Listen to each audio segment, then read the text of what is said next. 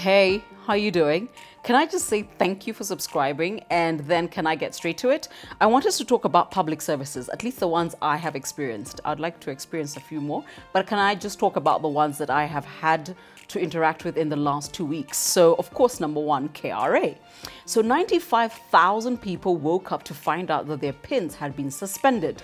Guess what? I was one of them. And I remember getting the email from um, our accounts office and thinking, eh, me, of all people. And I was like, Ugh, I, I, you know me, I'm, I'm an iTax and KRA champion, so there's no way. there's anything wrong with my records, all right?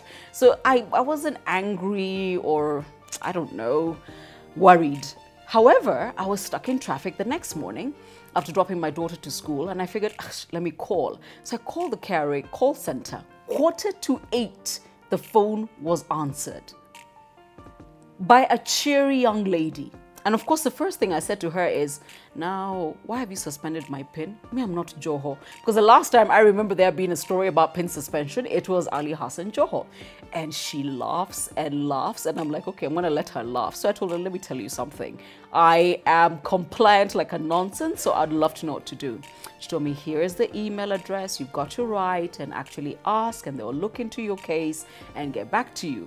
And sure enough, 48 hours later, I got an email explaining and the culprit mm, in question, and the two issues were flagged. And I was told you need to ask your employer to uh, remit your PAYE, and we will reactivate your PIN in, in a couple of days. And it was done.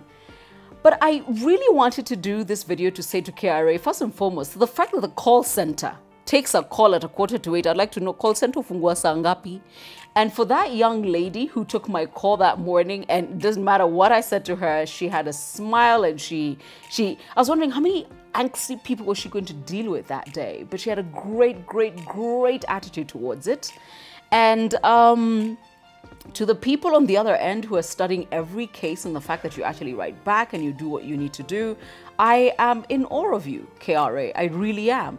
If you're one of the 95,000, can you not get all worried and bristled and na na na na? No, they're also human beings. They're trying to catch some people, and it's not you they're targeting. At least that's what I found out on my case. I'm not going to talk about my case.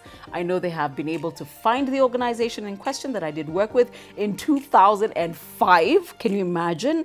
and they have locked down the issue and I know they will sort it out with that other organization.